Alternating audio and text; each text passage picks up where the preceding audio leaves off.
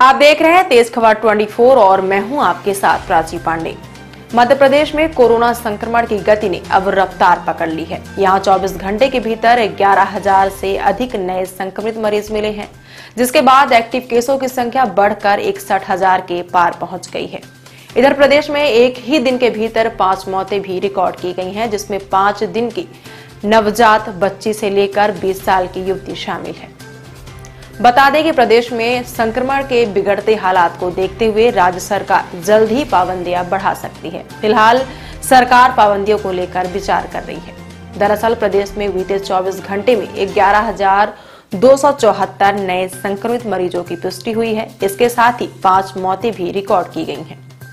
वहीं प्रदेश के महानगरों के साथ साथ अब छोटे जिलों में भी संक्रमित मरीजों की संख्या सौ के पार पहुँचने लगी है।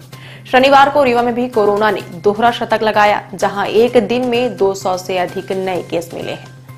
इधर प्रदेश के महानगरों में राजधानी भोपाल में 2107, इंदौर में तीन हज़ार एक सौ उनहत्तर ग्वालियर में 730, जबलपुर में 740 नए संक्रमित केस मिले हैं। आपको बता दें कि प्रदेश में कोरोना पर सीएम लगातार समीक्षा बैठक ले रहे हैं और आमजन से कोविड गाइडलाइन का पालन करने की अपील कर रहे हैं ताकि कोरोना की रफ्तार धीमी हो सके।